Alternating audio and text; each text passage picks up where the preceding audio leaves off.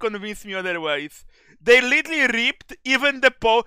They even stole the fucking fish. They even stole the fish. This is one to one fucking Kokomi from Genshin. Is a skin? Am I stupid or can you guys actually also see this? They ripped the pole, like even the hand, like fuck off for Riot game. This is one to one.